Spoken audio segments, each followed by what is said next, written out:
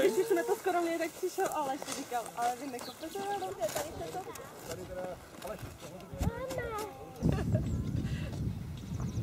Jdem na to.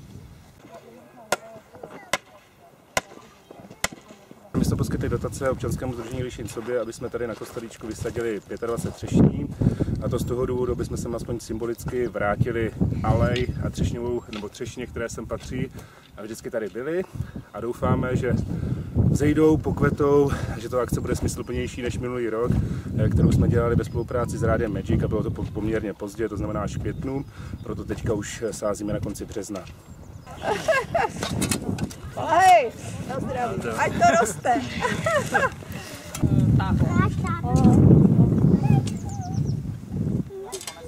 Nechceš to?